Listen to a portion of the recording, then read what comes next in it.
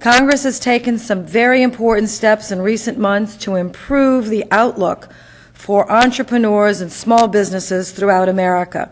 I'm pleased today to be joined by Senator Debbie Stabenow from Michigan, Mr. Terry Gardner from the National Policy of Small Business Majority, and Frank Knapp, the president and co-founder of the South Carolina Small Business Chamber. Um, Senator Landrieu, Senator Stabenow, thank you very much for your leadership in a host of issues that are going to help small businesses, and I appreciate that.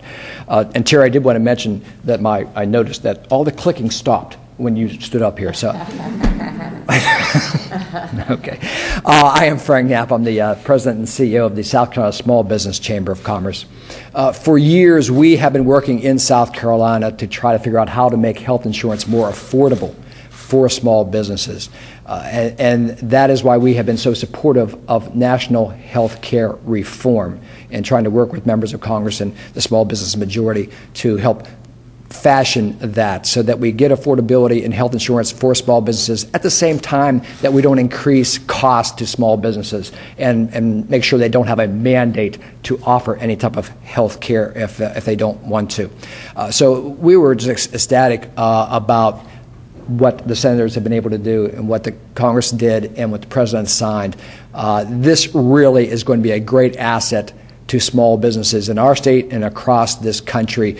Uh, do not listen to all the naysayers, all the people out there who are saying this is going to be a crisis for small businesses, we are going to crumble under the financial pressure. Uh, that is simply not true.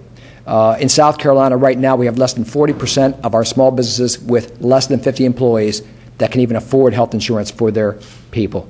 Uh, under this bill, 95% of our businesses have 50 or fewer employees, no downside for them. 90% of our businesses have less than 25, uh, 25 employees.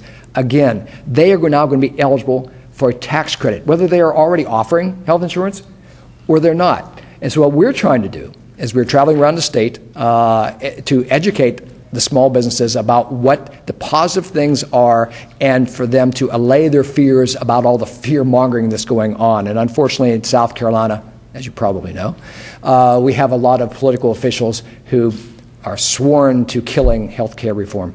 Uh, and we've had to push back against that. If you go to uh, our website, you'll see uh, within the last 10 days, I've had a, a major op ed pushing back on our Attorney General Henry McMaster, who is suing the, uh, the nation about this, and also against the NFIB, uh, who, who also swear that they're going to kill off health insurance.